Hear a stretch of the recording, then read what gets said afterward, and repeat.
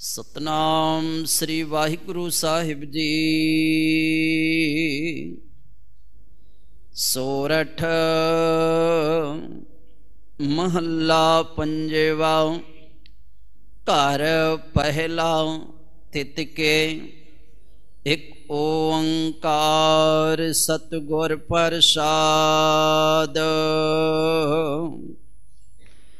ਕਿਸ ਹੋਂ ਜਾਚੀ ਕਿਸ ਆਰਾਧੀ, ਜਾਂ ਸਭ ਕੋ ਕੀਤਾ ਹੋਸੀ। ਜੋ ਜੋ ਦਿਸੈ ਵੱਡਾ ਵਡੇਰਾ, ਸੋ ਸੋ ਖਾਕੂਰਲ ਸੀ ਕਿਸ ਹੋਂ ਜਾਚੀ ਕਿਸ ਆਰਾਧੀ ਜਾਂ ਸਭ ਕੋ ਕੀਤਾ ਹੋਸੀ। ਜੋ ਜੋ ਦਿਸੈ ਵੱਡਾ ਵਡੇਰਾ, ਸੋ ਸੋ ਖਾਕੂਰਲ ਸੀ।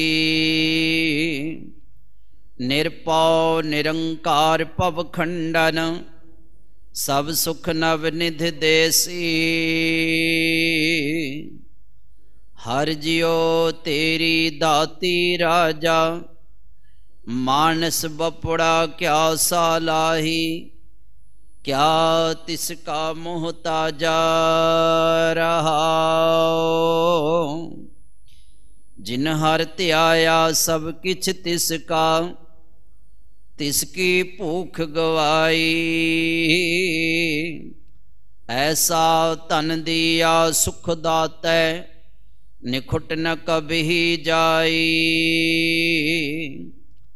ਅਨਦ ਪਿਆ ਸੁਖ ਸਹਿਜ ਸਮਾਣੇ। ਸਤਗੁਰ ਮੇਲ ਮਿਲਾਈ।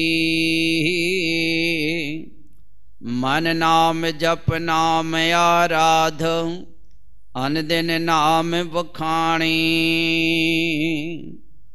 ਉਪਦੇਸ਼ ਸਾਧ ਸੰਤਨ ਕਾ, ਸਭ ਚੂਕੀ ਕਾਣ ਜਮਾਣੀ।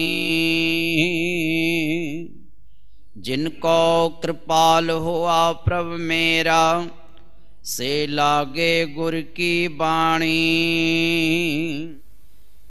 ਕੀਮਤ ਕੌਣ ਕਰੈ ਪ੍ਰਭ ਤੇਰੀ, ਤੂੰ ਸਰਬ ਜੀਆਂ ਦੇ ਆਲਾ।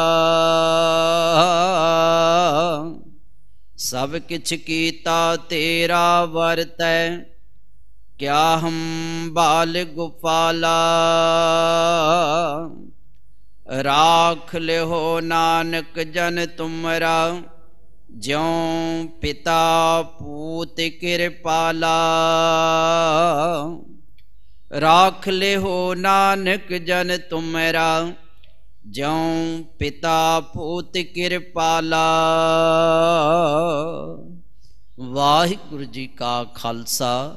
ਵਾਹਿਗੁਰੂ ਜੀ ਕੀ ਫਤਿਹ।